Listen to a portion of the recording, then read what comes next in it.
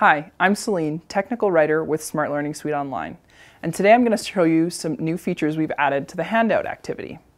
So I've got this lesson on fractions, and we'll go ahead and move forward a few pages to where I've converted one of the pages to a handout activity so that my students can interact with it. The first thing you'll notice here is a new button labeled Student Progress. So if you click on that button, you'll actually open up a new teacher dashboard, which allows you to see all of the students who've connected to the activity and start work, started working on it. Um, and if you as a teacher are still waiting for students to, con to connect, you have the option using this teacher handout button to actually open up your own copy of the activity so that you can demonstrate for students how to complete it. So I might start showing them that I want them to divide up the chocolate, chocolate equally between these children. Then if you'd like to return to the dashboard, you can just use this button in the top left to go back and actually we'll click on a student and have a look at the work they're doing. So we'll have a look at Mike's to see that what he's started doing. So you can see he's already started dividing up the chocolate. Looks like he's getting it right, doing it equally. That's great.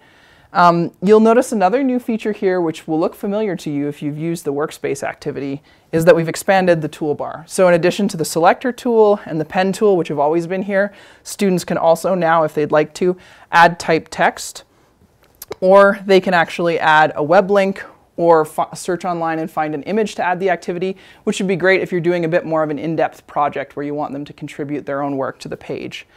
Um, looks like Mike's completed this successfully, so I'll also show you that as the teacher, I have access to the tools in here while the student's working in here as well. So I can actually jump in and tell Mike that he's done a great job by drawing a check mark. Um, if I want to start looking at other students' work, I can also use these arrows in the corner to toggle. So I'll toggle back and look at the previous student's assignment. So now we're looking at Liz's work. And if you want to go back to the dashboard and see all of the students, you can do that. Another great feature we've added on the student side is a done button, which allows the students to indicate that they've completed their work. So Mike actually finished filling out all his work there, and you'll notice he's marked his assignment as done because we've got this check mark up in the corner. So if I hadn't looked at it already, I could jump in and have a look at the work that he's done and see that he's completed the assignment.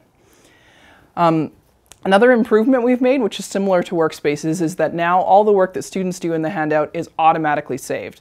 So even if you leave the lesson and come back, the student work will be here. And that means also that if you'd like to share this lesson with your students using a link, that they could actually open this up outside of class and continue work on a handout, which might make sense if you were doing more of an in-depth assignment. Um, so that's one of our latest features in Smart Learning Suite Online. If you'd like to see more updates like this, then be sure to subscribe to the Smart Support YouTube channel and keep an eye on the new features in Smart Learning Suite Online playlist. Thanks for watching.